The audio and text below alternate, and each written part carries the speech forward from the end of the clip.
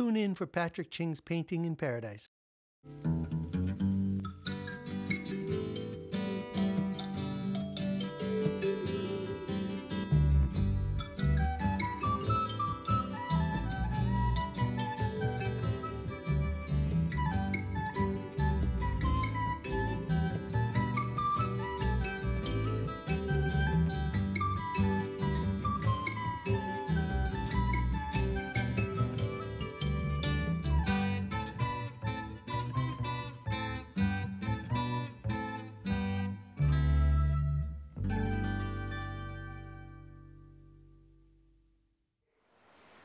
I'm Patrick Ching and thank you for joining me on Painting in Paradise.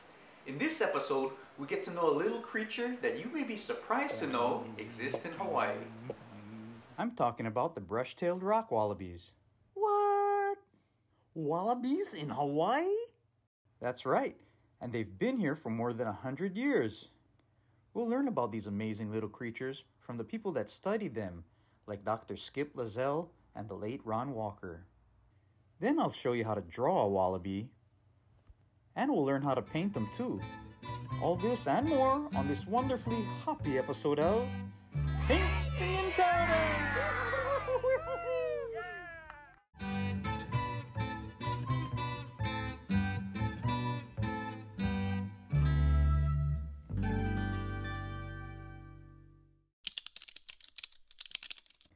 Wallabies in Hawaii. What?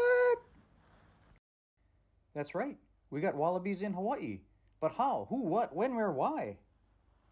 Well, in 1916, brush-tailed rock wallabies were brought from Australia to a private zoo at Alewa Heights in the area near Kamehameha Schools. A pair of them escaped and are responsible for producing the tribe of wallabies that inhabits the cliffs of central Oahu today. We'll hear a little more about the wallabies from my late friend, wildlife manager, and artist, Mr. Ron Walker. My name is Ron Walker. I'm a wildlife biologist. I worked for the State Forestry and Wildlife Division for 37 years and then retired from the state and worked for the Fish and Wildlife Service for another eight years. Why are the wallabies in Hawaii is an interesting story. A private landowner up in uh, Alewa Heights uh, here on Oahu uh, got some wallabies, a male, a female, and a baby, uh, and put it in a tent in his backyard temporarily because he was going to have a private zoo. Uh, unfortunately, uh, at night some dogs got into the tent and chased the male and female out of the tent into the woods, and that's how they became established here. Well, I was working as a wildlife biologist. We hired a biologist to come here, uh, Dr. Skip Lazell. He's a geneticist and a mammologist, so an expert on wallabies. So he and I and uh, my staff went up and did did a study of the wallabies, actually capturing the animals and measuring them. Of course, this is a marsupial, so the baby, is, when it's born, is it's like an inch long, and it's in that pouch for 245 days. That's a long time in the pouch. They also live on cliffs. It's a brush-tailed rock wallaby, so they like rock cliffs. And any animal in the wild, of course, is dependent on a good food supply. And they picked uh, an area which is uh, abundant in Christmas berry, guava. They love guava. Uh, I'm a little bit worried about it because they are subject to predation by dogs. Plus, the wallabies have a habit of crossing uh, the highway and get hit by cars. But we don't want them to die out because in Australia they're considered endangered. So they're a very, a very important animal to uh, Australia and interesting to us here in Hawaii. Mahalo, Ron, for your many years of service for Hawaii's wildlife. In the 1980s, I was fortunate to be one of the volunteers that caught and measured the wallabies. I really wanted to see them up close so I could study them to draw and paint. Decades later, I was curious to know what became of the wallaby as they would come up on the news from time to time. Wallabies are pretty reclusive and are rarely seen by people. They've been reported from Nu'uanu, Kalihi, Moanalua, and Halawa valleys. When I looked up wallabies in Hawaii, there was not a lot out there, but a video by Charles Lee was entertaining and informative. For almost a century, rumors persist of strange creatures on slopes, creatures that should only exist on a continent thousands of miles away. And here's where our journey begins. Never attempt an expedition without the proper training and physical conditioning. All right, let's get started. Okay. I contacted Charles and our friend Alex, and we went looking for wallabies in the place where we studied them many years before. We're hunting wallaby.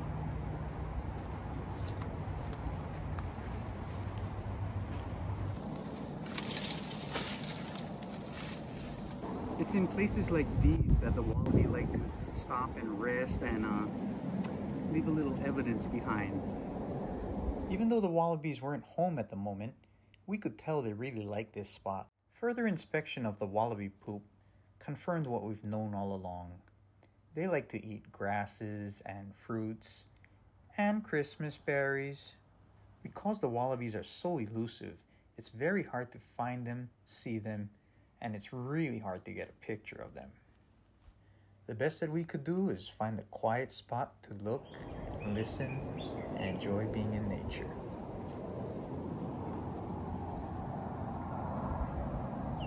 And of course, we did our best to get some pictures. In my recent conversations with Dr. Skip Lazell, he reminded me that the Hawaii population of brush-tailed rock wallaby are significantly different than their Australian ancestors. He noted the small gene pool and unique Hawaiian environment as reasons for their rapid evolution.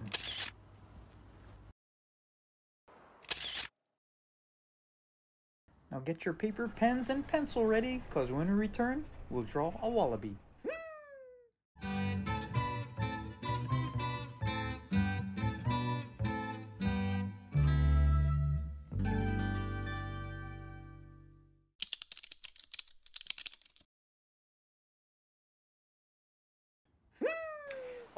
Friends, so now I'm going to show you how I go about drawing a brush-tailed rock wallaby, okay? And you know what I'm going to do first? I'm going to form it up just using simple shapes like uh, ovals and uh, ovals and more ovals, yeah? Okay, I tell you what, I'll put the rock wallaby sitting on a rock right around here. I'll make an oval for the body, about that big. And I'll make uh, another oval for the head, and I'll put the head right around there. Oh my goodness. Now I'm going to give them another couple of ovals, which we might change to triangles for the ears. Here, we'll put one there, and one there. Uh, wallaby is a mammal. It is a marsupial. Uh, that means something. I'll tell you what it means after I look it up. And um, I know they got big old legs. They're like little kangaroos. So let's put a big old circle for its nice muscular legs there. They're going to come down here a little bit and another oval for their big old feet, okay? And then I'm going to give some room for a nice little tail right around here. Okay, now I'm going to kind of connect the head to the body and give them some front legs. Now the front legs are much smaller than the back legs, but we'll use ovals to make them too, okay? I'm going to make uh, two sides, yeah? Um, for the back leg, I will show a little hint of his back leg too. Yeah, so it looks like he's got two legs. And then, of course, his tail. Just come around here, swing it around. Here, about that big, okay? So this is my form up. It gives me an idea of how big things are, if anything needs to get bigger or smaller. And uh, before I finish this part up, I think I'll put the maka in, yeah, right around there. Maybe one you can see a little bit on the other side, and kind of give an idea where the nose is going to go. I'm also going to put a, like the rock where he's, you know, standing on or crouching on, and some grass. And maybe a little hint of the valley, and blah, blah, blah. So right there, I've formed up my brush-tailed rock wallaby. Okay, so now that I've got my rock wallaby formed up and sketched out, I'm going to use a bigger pen, and you can press a little harder with your pencil, or you can use a pen now. And I'll start right here on the head, right on this side of the ear, and go...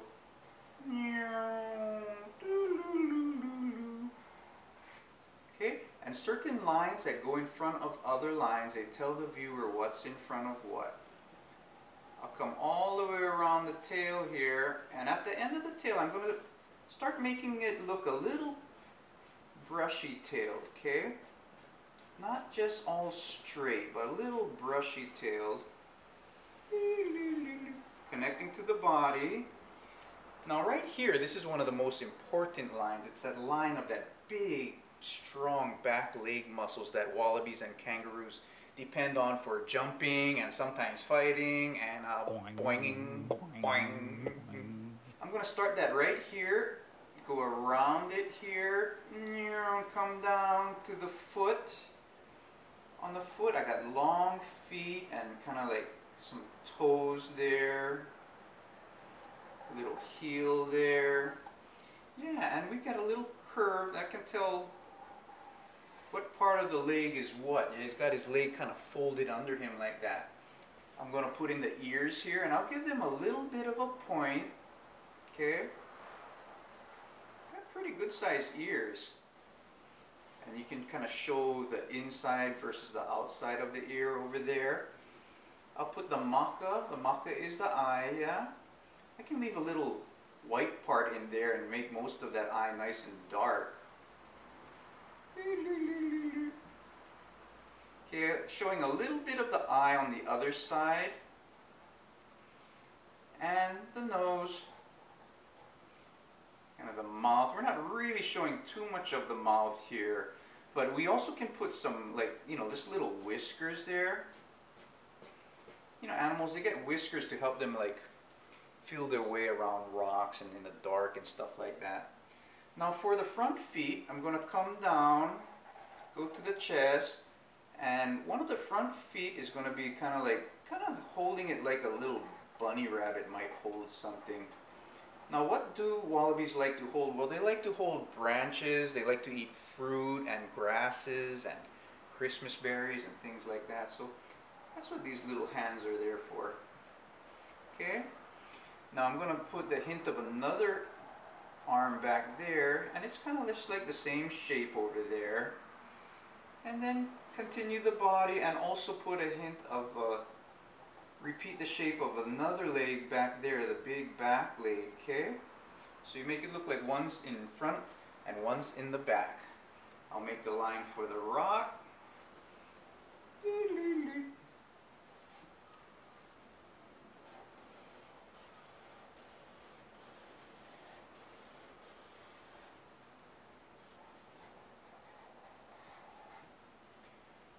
And there you have it. I just outlined my brush-tailed rock wallaby sitting on a rock. Now in this drawing, I'm going to do a little bit of shading, okay? Putting in some shadows, so like determining where the sun's coming from. I'll say the sun's coming from up there, and uh, I'll make a little bit of uh, these kind of little, you know, um, little furry looking things. Plus, I've also got little color patches, you know, got a little dark line in the middle over there and so you can kind of put color patches on what might be dark and what might be light. Maybe some lines in there. But now's a good time to add some shadows. So I'm going to shadow these areas like these legs that are behind, you know, the front leg behind one. I'll give it a little bit of shadow. I'll also do the same thing for the back leg, the one that's behind. Shade it a little bit, yeah? Okay, um, on the rock, I'm going to put a shadow on the rock that he's casting onto the rock where he's sitting. And another fun place to put the shadow would be where the tail goes. Kind of telling the viewer, you know, that there's a shadow he's sitting on there. Okay? Shade in places where the sun don't hit and that will give your rock wallaby some form. Now for the tail, you can also make it seem a little more brushy by adding shadows in there. The ones right close to you can just be little dots, and as they get farther towards the outside of the tail, they can turn into little lines and bigger lines to make it that brushy tail effect, which is why the brush-tailed rock wallaby is called a brush-tailed rock wallaby and not the mop-tailed rock wallaby or something. And I'll continue my shading.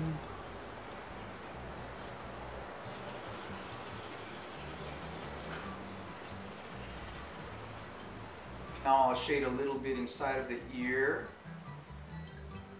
and the nose. And ta-da! My brush-tailed rock wallaby that lives in Hawaii. I wouldn't want to leave my wallaby without something to eat, so I'll draw him some Christmas berries right here.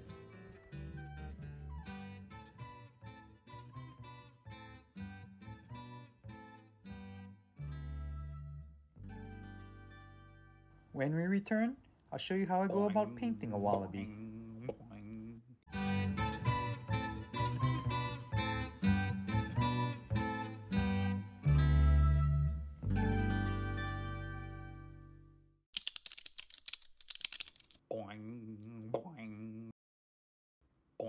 Alright, so now I'm going to show you how I go about painting a brush-tailed rock wallaby. I'm going to do it with oil paints a la prima.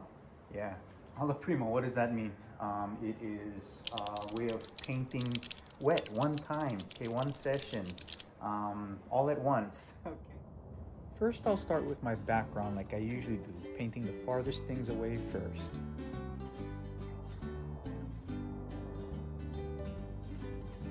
Then I'll work my way closer and closer, being conscious of what things I'm putting behind my main subject, which is the wallaby.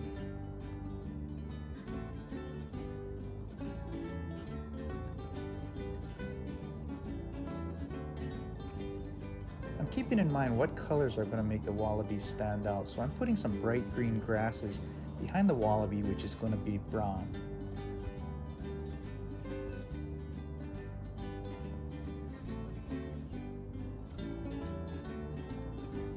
If you're using a slow drying paint like oil paints or Genesis paints, you can use a soft brush to blend the background colors, making them more blurry. That way, when you do your foreground objects, they'll be nice and sharp and contrast against the background. Then I'll do my bright red shapes of the Christmas berries.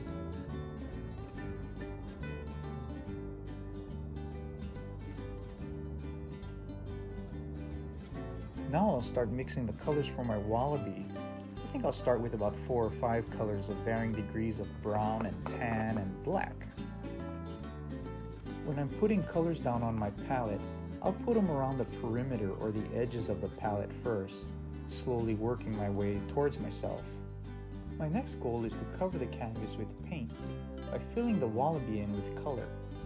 Sometimes I'll draw myself a little map on my painting, starting with the darkest things first. At this stage, don't worry too much about getting the right colors in the right place. Just get some paint down there and you can adjust it later. I'll paint his nose so you can smell a little better. Then I'll put some shadows in to show what's behind and what's in front.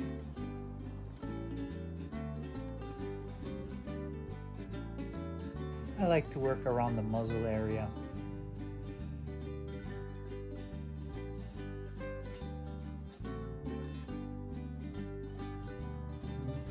And you know I like my sound effects.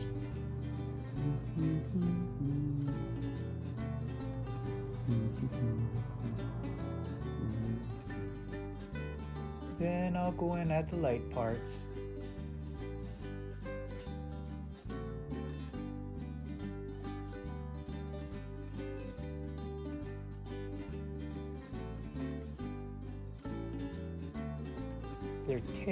Brushy and black.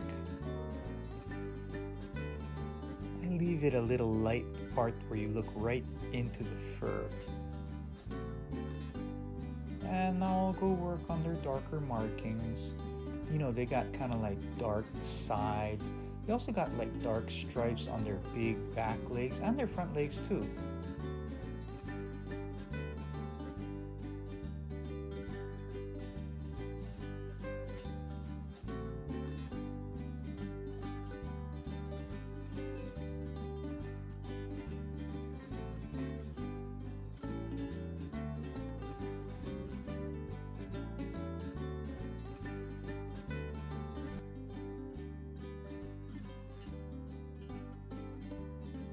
Don't forget to dot the I's.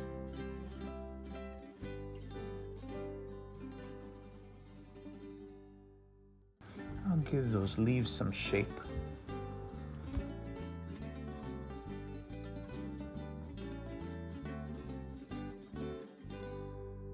And make those Christmas berries berry red. And there, I hope the wallaby is happy. Thank you for joining me on Painting in Paradise. I hope you enjoyed learning about Hawaii's brush-tailed rock wallabies. I'd love to see what you did, so why don't you send a picture of you and your art to aloha at patrickching.com. Bye-bye.